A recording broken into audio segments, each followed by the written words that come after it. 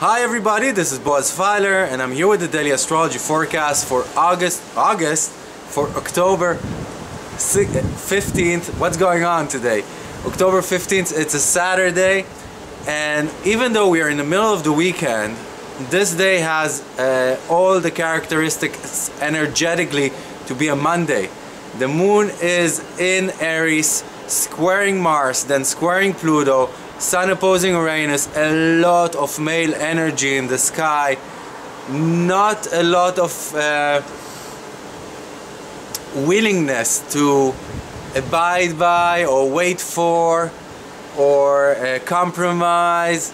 We want to get ahead and we want to get her fast and we have to watch our um, words and we have to watch our actions because Mercury is also squaring Mars today. We could be too combative with our words without even meaning it.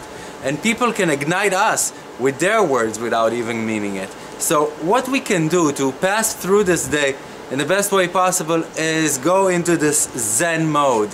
Go into this Zen atmosphere and not let the aggression let's keep it on the assertive side, not the aggressive side, but not keep the not let the aggression sip in.